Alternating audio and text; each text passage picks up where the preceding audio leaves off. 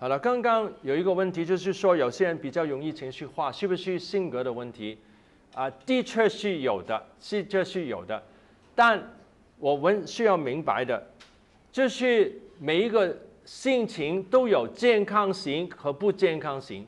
例如，什么人最容易有情绪问题的？就是比较啊，有些啊感性的人，感性人就好像啊艺术艺术很强的人啊，音乐很强的人呢，但不一定是音乐强的。我音乐强，但我没有这个。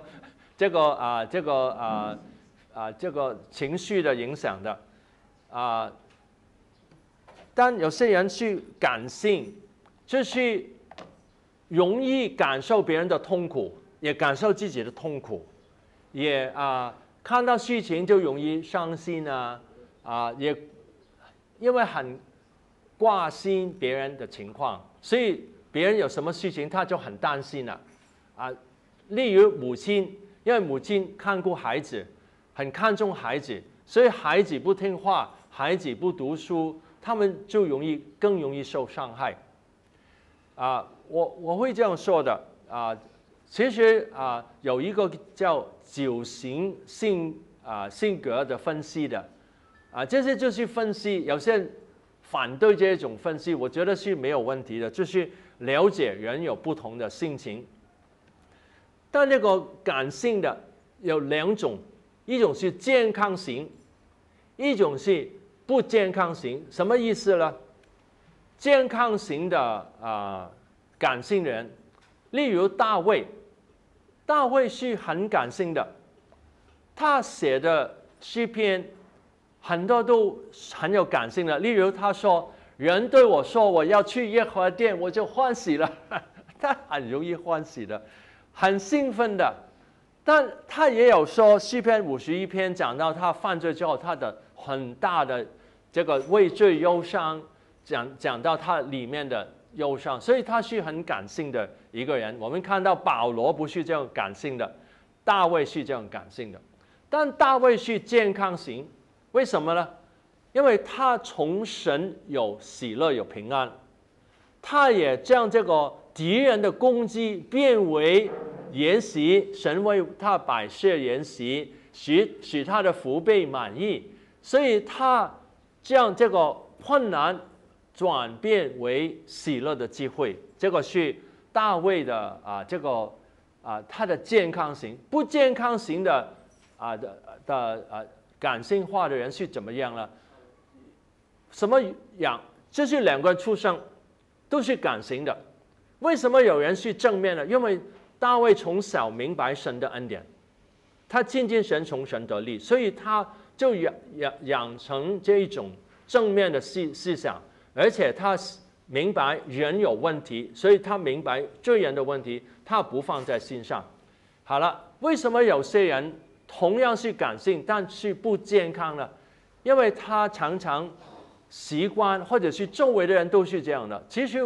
我们在世界上周围人很多是是负面的，因为他会告诉你啊，你看这个人真不好啊，我憎恨他，啊，我希望他死了啊，他最好啊，他什么事事情发生，很多人都是咒骂你的家人，可能都是咒骂你啊，你什么不好不好啊，其他人什么不好啊，都是说比较的话，他们就将这些思想放在他的里面，成为他的思想的模式，是他的感性就变为。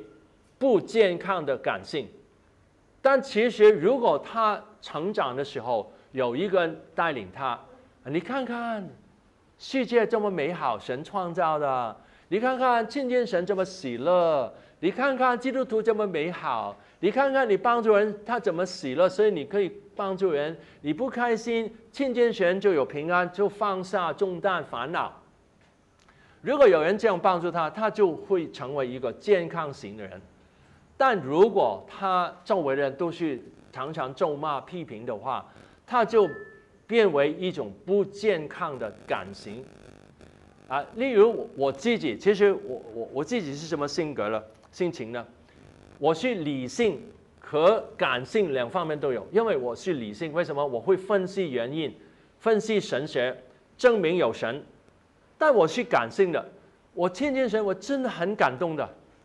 我我细想神有些时候我思想就会哭的。我有感性的命，但我两方面都有。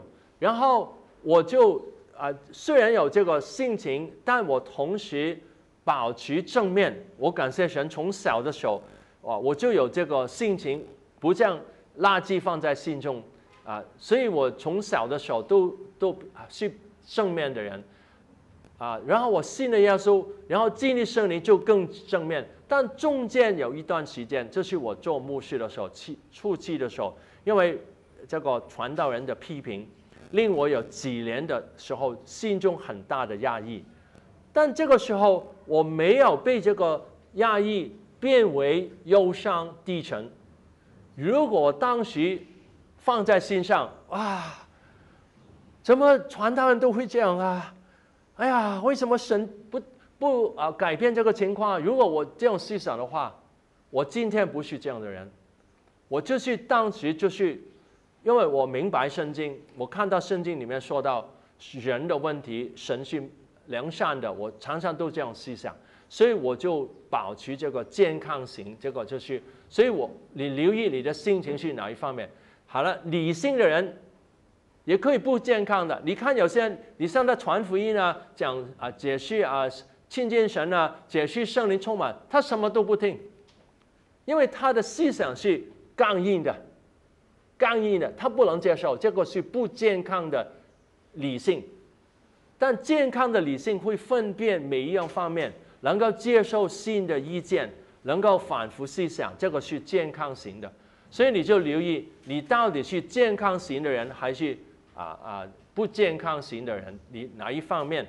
而且另外有一点，我我讲到这个处理生命，很多人就是这样说的啊，不开心，祷告了。答案就是祷告，祷告。没有将这个问题拆开。我的处理的方法，我感谢神啊，神教导我拆开我的内心。为什么我会被他影响？因为当时我觉得他很重要、很宝贵，而且我觉得他的话我不能放手。我拆开这一点，我后来明白我为什么被他影响。我怎样可以不被他影响？我拆开自己的内心，当我拆解我的内心的时候，我就能够化解我里面的负面想法。所以当啊，昨天我跟老师跟另外两个童工一起沟通的时候，啊，有一个童工说，啊，因为我我啊我我与儿子太亲近了，太熟悉了，所以我就容易情绪化。然后，其他人都很快就去下一个主题。我说没有啊，他说这一点很重要，马上抓住。他说，因为他熟悉熟悉他的儿子，所以他就会情绪化。化，我就问他了：你熟悉是不是代表应该情绪化了？你是不是熟悉他，所以你就要发怒了？是不是必定呢？是不是必定你这个人很亲近，所以你要发怒了？其实应该是我越亲近，我越珍惜他的关系，我越小心我的话。所以有些人老夫妻都是啊，不用说谢谢啦，不用说对不起啦，啊，没有不要紧的，他不会介意的。其实最接近的人最容易伤害，就没有拆开这一点。例如，我看我的太太非非常重要，我珍惜她的感觉。我们也常常说谢谢你，可能你会觉得很奇怪的。